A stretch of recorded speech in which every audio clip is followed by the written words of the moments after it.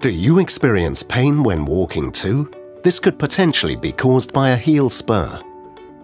And you wouldn't be the only one with this diagnosis. One in 10 people worldwide are affected by this disease at some point in their life. One of these people is Ben. As a passionate runner, he experiences pain not only when exercising, but also in his everyday life.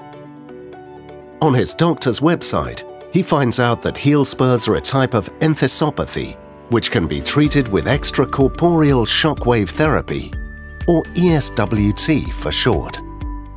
Shockwave therapy?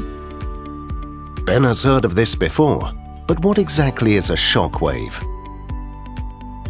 Dr. Young explains how shockwaves work.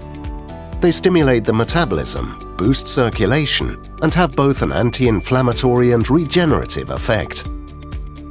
This means that trigger points and fascia can also be treated in the event of muscle tension. The therapy is non-invasive with virtually no side effects. Use of painkillers can be reduced or even stopped completely, and healing is accelerated. Dr. Young determines the number of pulses and the required energy for the treatment. She applies a gel to Ben's skin to enable the shock waves to penetrate the tissue more effectively. She then uses the handpiece of the shockwave device to transfer the waves into the heel. Depending on the clinical picture, a session can last 10 to 30 minutes and can be repeated 3 to 6 times at weekly intervals. Once the therapy is completed, Ben can resume his hobbies.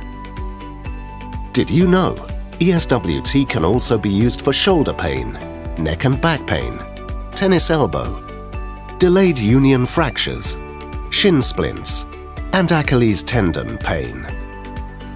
The therapist will decide with you whether the treatment is suitable for you.